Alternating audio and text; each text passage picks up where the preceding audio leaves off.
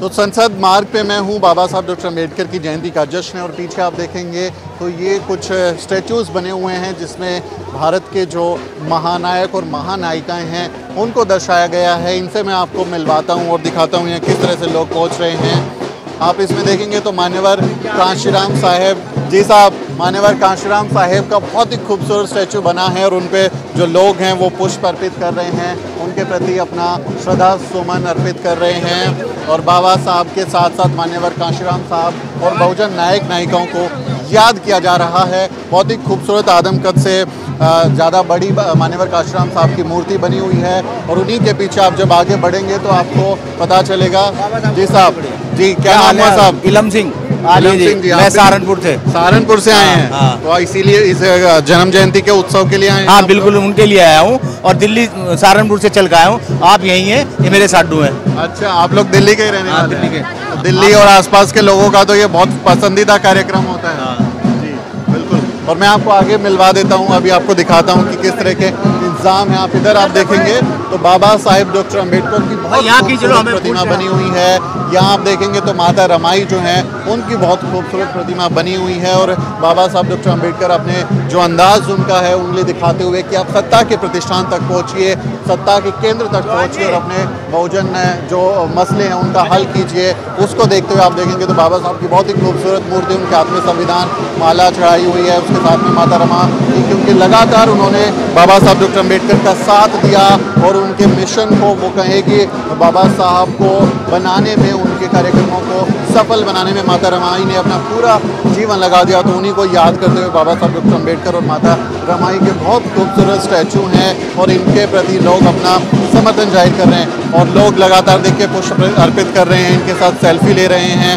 क्योंकि एक जश्न का माहौल है और जश्न के लिए तमाम लोग अपनी यादों में इसको समेटना चाहते हैं। इस तरफ़ आप देखेंगे तो हमारे राष्ट्रपिता ज्योतिबा फूले और माता सावित्री बाई के बहुत खूबसूरत स्टैचू यहाँ पर बने हुए हैं। आप देखिए बाबा साहब के बाद तुरंत उनके पीछे जो है विरासत, जो कहीं कि हम कहते हैं कि विरासत को आगे कौन लेके जा रहा है तो मान्यवर काशीराम साहब के पीछे बाबा साहब डॉक्टर अंबेडकर और माता रमाई और उनके पीछे राष्ट्रपिता ज्योतिबा फूले और माता सावित्री बाई उनके हाथ में किसान का कोड़ा किताब और माता सावित्री बाई के हाथ में गुलामगिरी किताब। उनके चरणों में लोग वंदन कर रहे हैं, उनको पुष्प अर्पित कर रहे हैं और याद कर रहे हैं कि कैसे राष्ट्रपिता ज्योतिबा फूले ने महिलाओं के लिए, शूद्रों के लिए, अति शूद्रों के लिए शिक्षा के द्वार खोले, आजीवन काम किया लोगों की भलाई के लिए और जो उन्होंने अलग जगाई थी, जो क्रांति की मसाल चलाई थी, उसे एक के बाद एक के बाद एक जो बहुजन नायक नायिकाएँ हैं वो आगे लेके जा रहे हैं। तो ये विरासत जो है, और आगे बड़ी विरासत है। पीछे कौन है इनके, मैं आपको दिखाता हूँ। राष्ट्रपिता ज्योतिबा फुले और माता सावित्री बाई फुले के पीछे जब आप आएँगे तो आपको सम्राट अशोक दिखाई देंगे, जो कि एक जनप्रिय राजा के तौर पे, बुद्ध के धर्म का प्रचार करने के तौर पे और मानव कल्याण के लिए जिन्होंने युद्ध का रास्ता छोड़कर बुद्ध का रास्ता अपनाया और जो महान साम्राज्य बनाया, कहें कि अशोक सम्राट के जो जो भारत था, जो अखंड भारत की जो बात होती है, उनसे बड़ा भारत का कोई विस्तार नहीं कर पाया। वो इतना बड़ा साम्राज्य था और अशोक सम्राट की विरासत को भी यहाँ पर याद करते हुए कि राष्ट्रपिता ज्योतिबा फूले और माता सावित्रीबाई फूले के पीछे जो विरासत है, वो सम्राट अशोक तक जाती हुई उनको ये याद कर रहे हैं और फिर ये जड़ें जाके मिलती हैं।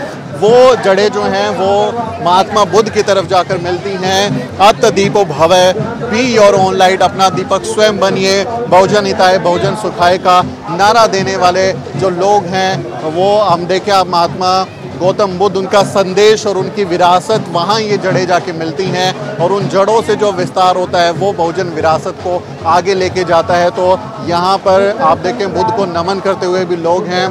कहाँ से आई हैं आप? कहाँ से? यहीं दिल्ली के करोल बाग से।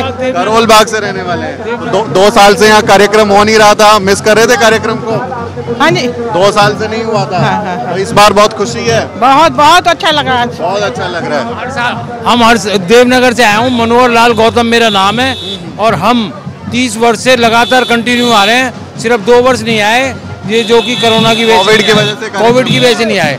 बाकी हम रेगुलर और इस टाइम तक तो हम निकल जाते हैं। सुबह जल्दी आते हैं छः बजे घर से निकल के और वीआईपी जो पास होते हैं, उनमें जाके फिर यहाँ से नौ दस बजे निकल जाते हैं। देखिए, तमाम लोग सिर्फ़ दिल्ली से ही नहीं, तमाम जगह से अलग अलग जगह से पहुँच रहे हैं। महात्मा बुद्ध, सम्राट अशोक, राष्ट्रपिता ज्योतिबा फुले, माता सावित्री बाई और उसके बाद बाबा साहब, डॉक्टर अंबेडकर माता रमाई और आगे जो इस विरासत को लेके जाते हैं, जिन्होंने बहुजनों को राजनीति के सत्ता तक पहुँचाया, केंद्र तक पहुँचाया मान्यवर कांशीराम साहेब, उनका जो स्टैचू है वो बना हुआ है और इस बहुजन विरासत को आगे बढ़ाते हुए जो याद किया जा रहा है, उनके योगदान को, बाबा साहब डॉक्टर अंबेडकर के योगदान को मान्यवर कांशीराम साहब और राष्ट्रपिता ज्योतिबा फुले उनके कार्यक्रमों को, उनके योगदान को इस बाबा साहब के जन्मोत्सव पर भी याद किया जा रहा है।